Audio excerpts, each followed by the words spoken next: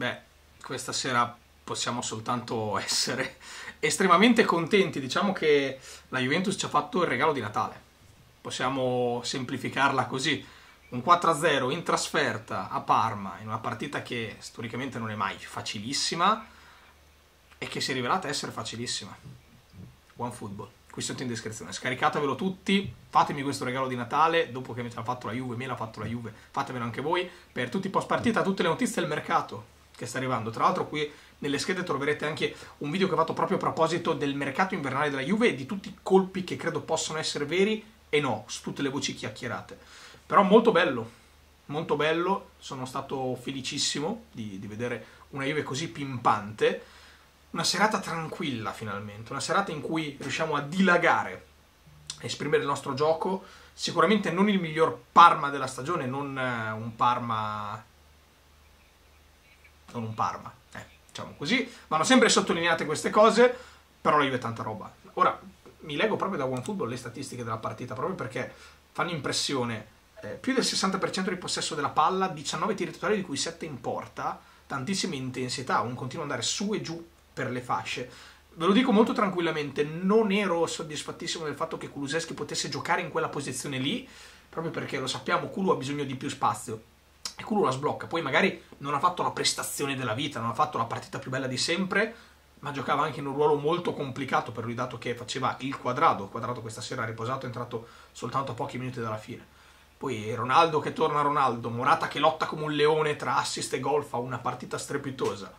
McKenny che è un altro di quelli che corre sempre, poi a un certo punto abbiamo dovuto dirgli guarda West Ham finalmente ti puoi riposare, ti sostituiamo perché se no te continui ad andare forte, veloce come un leone sempre ogni partita. Io sono contento.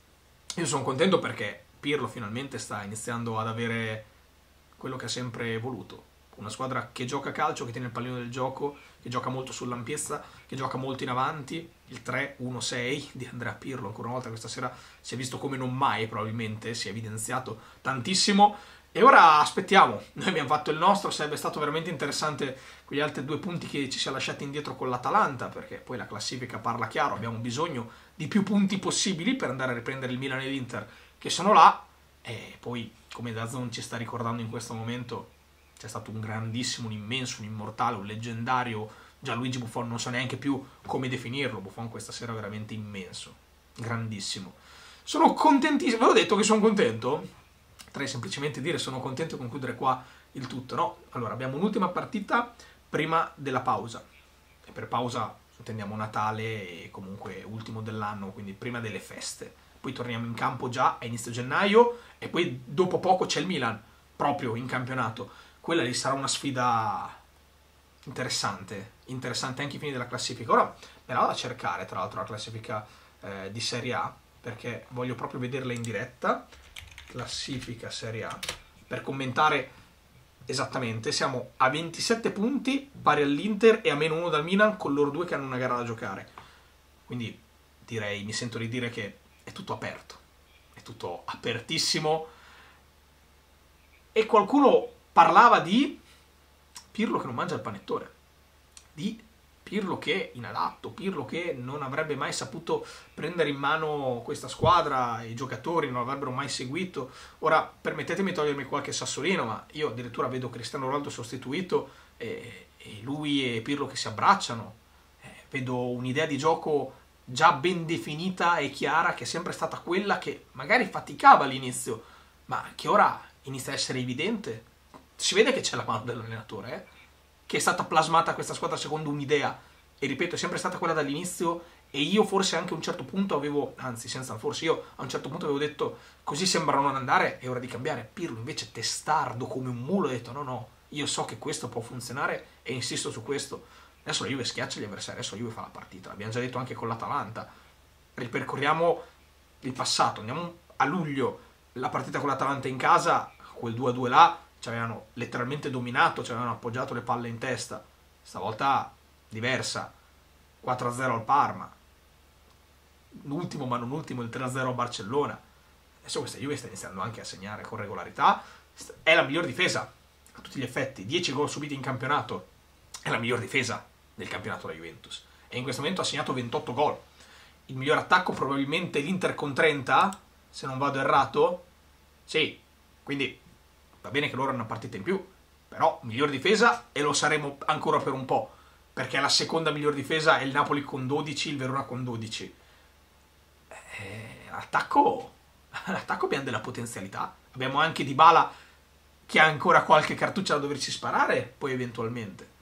Quindi in questo momento è un resoconto, un bilancio estremamente positivo e questa partita col Parma è l'ennesima cosa, l'ennesima goccia, ma potrei dirne tantissime. Da Delit che sta giocando come un super veterano incredibile, fa il trequartista, cioè Delit gioca sempre altissimo, va, va a prendere gli attaccanti là, in alto, c'è Danilo che sembra un giocatore di livello altissimo, Quadrado forse mai così bene come quest'anno, Morata sicuramente mai così bene come quest'anno, Ronaldo che continua a segnare il famoso penaldo, eh, segna solo sul rigore, segna solo sul rigore e poi segna solo di testa e segna solo di piede, eh, segna solo con le piccole, mh, mm, segna solo nelle partite che non servono, allora a questo punto. Sarà la nuova scusa. No, no, c'è Ronaldo che sta segnando tantissimo.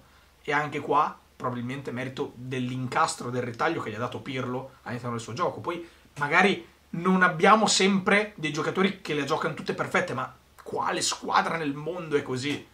Io in questo momento sono super soddisfatto della Juve di Pirlo.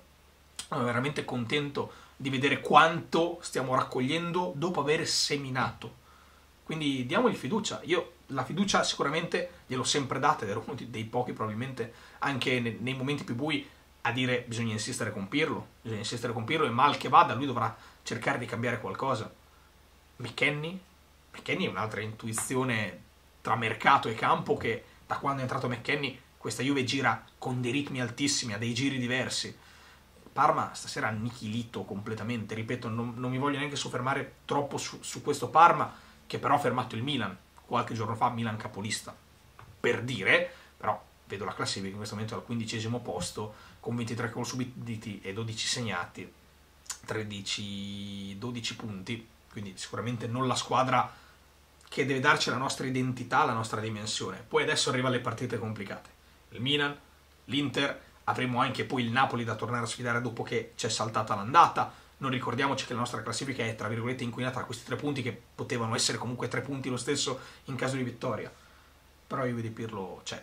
Pirlo c'è, la Juve c'è, i ragazzi, la cosa più importante, i ragazzi stanno seguendo Pirlo, tra poco c'è il mercato, abbiamo la possibilità di andare a minare, a costruire, a mettere i puntini sulle i tra difesa e centrocampo, un vice Morata, quello che riterranno più opportuno. Qualcosina andrà fatto, sono convinto che qualcosina si farà e quindi ancora una volta totale fiducia nella società, in Pirlo e in tutte le persone che lavorano quotidianamente nella Juve. Un mi piace a questo video, ci vediamo domani per le pagelle corre la felpa. Io non so più come dirvelo.